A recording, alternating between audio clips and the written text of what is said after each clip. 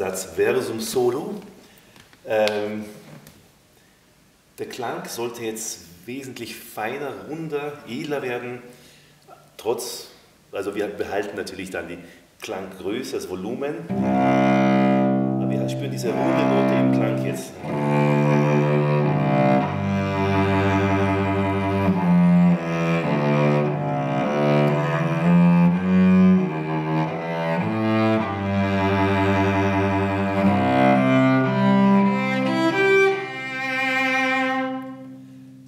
Wird noch reicher, also das Spielgefühl ist, als ob man noch mehr an Möglichkeiten hat. Man spürt die Zügel in der Hand, man kann es äh, schön formen und was sehr fein ist, man kann sehr stark in den, in den unteren, in den feinen Bereich gehen, ohne diese schöne Kantarqualität zu verlieren.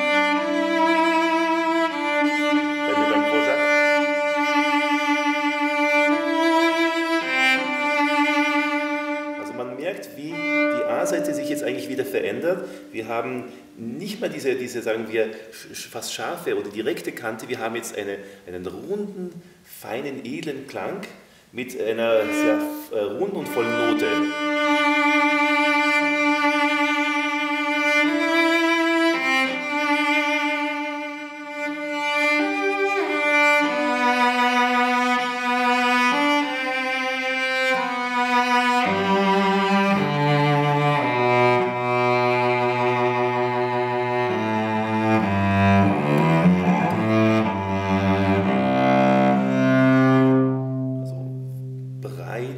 Reich. Was sagst du, Bernhard? Die C-Seite braucht ein bisschen Zeit, das kennen wir, wenn sie neu ist, dass sie ja, sich noch ja. mehr öffnet. Äh, man verändert vor allem auch die D-Seite, was bemerkenswert ist. Also sie kriegt noch eine feinere Präsenz, ohne dass sie irgendetwas verliert.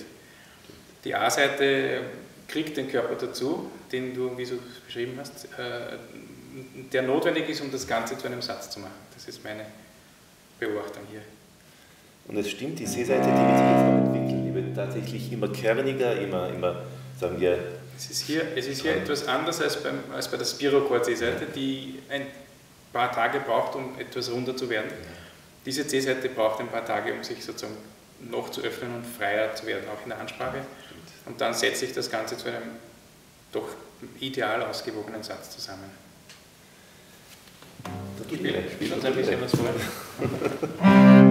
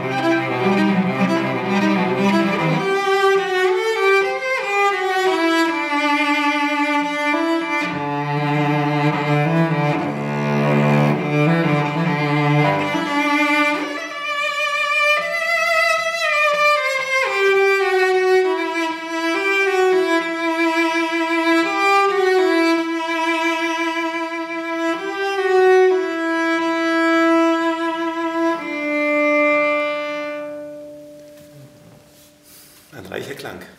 Danke.